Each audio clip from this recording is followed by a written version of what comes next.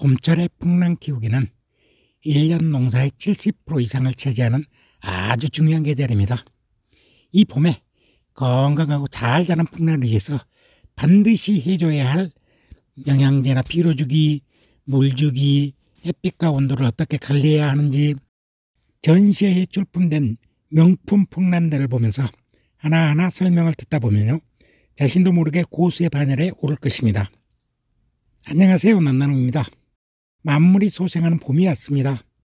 1년 중 봄에 가장 왕성한 성장을 하는 시기이기에 이 시기를 놓치면 1년 풍란 농사를 완전히 망치게 됩니다. 바꿔 말하면요. 이 시기에 잘하면 두 배 이상의 성장을 이룰 수 있다는 이야기이기도 합니다. 그리고 계절적으로 풍란에게만 좋은 것이 아니라 병균이나 해충들에게도 참 좋은 계절이기에 이를 염두에 두시고 풍란 기르기를 하시면 된답니다. 봄철 풍란에게는 온도 관리가 가장 중요한 요소 중의 하나인데요. 초봄인 3월에는 낮에는 부드러운 봄 기운을 느낄 수 있지만 밤이 되면 찬 한기도 같이 있는 시기입니다. 겨울과 마찬가지로 밤에는 최저 온도를 너무 낮추지 않도록 해야 합니다. 아울러 낮에는 햇빛이 나면서 밀폐된 공간 같은 경우 30도 이상 올라가는 경우도 종종 있으니까요.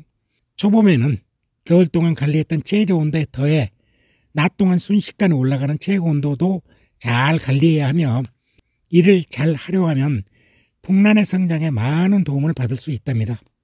특히 외기의 온도가 15도를 넘어가면 창문을 개방하여 자주 환기를 시켜주는 것이 좋답니다.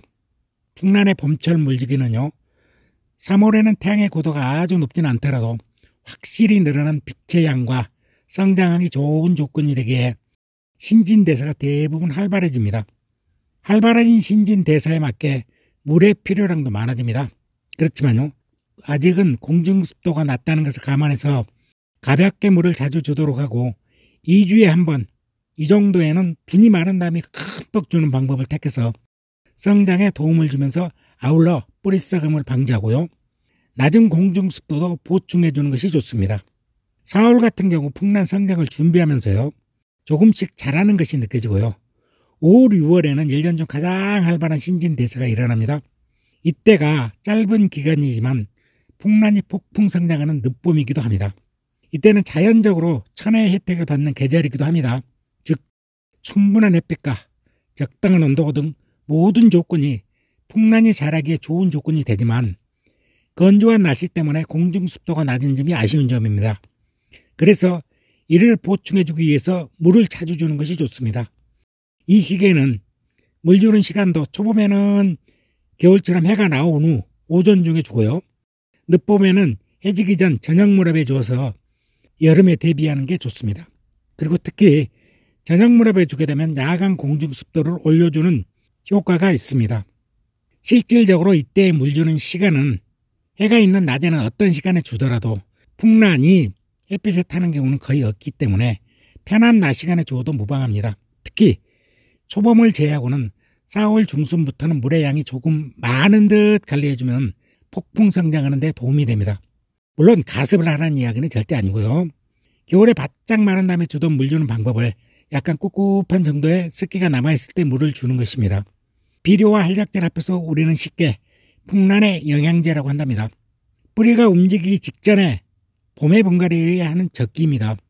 이 시기에는 풍란뿐만이 아니라 모든 식물이 분갈이를 해도 좋은 조건을 갖추고 있기에 겨울이나 여름보다는 봄이나 가을에 하는 것이 좋고 그 중에서 봄에 하는 것이 1년 중에 가장 좋은 분갈이 시기입니다.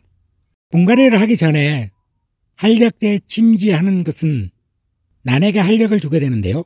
반드시 한력제 규정 배수를 준수하고 22 내지 23도 정도의 물에 담갔다 말렸다를 2, 3회 정도 반복하여 실시하고요. 한약제는 탈수기가 있는 난에도 침지할 수 있으나 비료의 사용은 반드시 탈수가 없는 난들에게 규정 농도를 주는 것이 좋답니다. 탈수된 상태에서 뿌리가 움직이는 풍란들이 가끔 있는데요. 이는 한약제는 사용해도 좋으나 비료의 사용은 탈수가 풀린 다음에 비료를 사용하는 것이 좋답니다. 봄 분갈이를 하면서 한약제 침제했던 풍란이라면 아직 탈수가 풀리지 않은 경우를 제외하고는 비료의 사용으로 성장을 극대하고요. 건강하고 튼실한 풍란으로 자라고 성장 잠재력을 비축하기 위해 비료의 사용이 반드시 필요한 시기입니다. 오래된 자료에는요. 풍란에는 비료의 사용이 크게 필요하지도 않기에 고형비료 매달을 화분이 가장자리에 두어도 충분하다고 인식하고 있었습니다. 근데요. 요 사이에는 쌍작으로 키우기 위해서는 비료의 필요성이 많이 대두되었습니다. 그래서 봄에는 성장을 위주로 비료의 사용량을 늘리기 위해요. NPK 중에서 인산이나 칼륨 이것보다는 성장 요소인 질소질이 높은 비료를 사용하는 것이 좋습니다.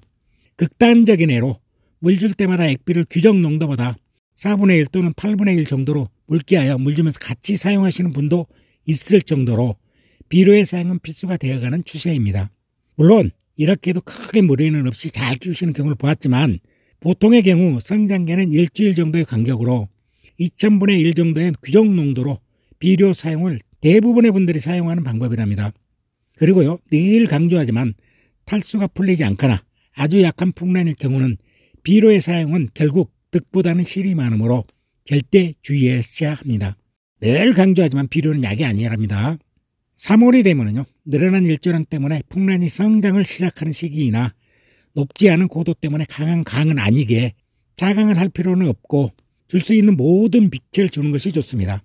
4월 정도가 되면요, 적당하게 높아진 고도와 늘어난 일조량 때문에 풍란이 성장하기 좋은 조건이 되는 환경이 갖춰진다입니다. 그러나 각자 처한 환경이나 풍란을 키우는 장소가 각각 다르기에 빛이 넘쳐나거나 또는 부족한 경우도 발생할 수 있습니다. 그래도 이번 달에는 하루 종일 빛이 드는 경우를 제외하고는 자강을 하지 않고 있는 빛을 그대로 많이 주는 것이 좋은 계절이기도 합니다. 5월은요, 일조량이 1년 중 가장 많은 달입니다. 일견 여름에 일조량이 가장 많은 것처럼 생각되지만 실상은요. 5월이 연중 일조량이 가장 많고 온도도 적당하여 풍란이 성장하기에 최적의 조건을 갖추는 달입니다. 4월까지 차강 없이 풍란을 재배하였더라도 이번 달에는 자신의 환경에 맞추어서 오후 햇빛을 차강해 줘야 하는 경우도 발생하는 달입니다. 뿌리도 왕성하게 자라고 있는 계절기에 늘 관찰하셔야 가지고요. 풍란의 잎의 뒷면에 안토시안이 끼는 경우가 발생하면 빛이 좀 강한 경우구나 이렇게 느끼시고요. 이때는 발이나 이런 것들을 이용해서 오후 햇빛을 차강하여 주시면 된답니다. 물론 차강 없이 깨끗하게 자라는 환경이라면 이번 달에도 물론 무차강으로 줄 수 있는 햇빛을 모두 주시는 것이 좋답니다. 이는 나중에요. 성장에 많은 도움을 주기 때문에 될 수 있으면 빛을 많이 주는 게 좋습니다. 북남도요. 이제 충분히 지나고 나면은 가끔은 덥게 느껴지는 날이 있는데요. 빛이 좋고 외기가 15도 이상 되는 날을 잡아 창문을 개방하여 외기를 넣어주는 것이 좋습니다. 다만 이때도 창문은 가능하면 난에서 멀리 떨어진 쪽의 창문을 개방하는 것이 좋답니다. 매월 난갈리에서 이야기해 온 것처럼 난잎이 흔들리지 않을 정도의 바람을 난잎에 흘려주는 것이 좋답니다.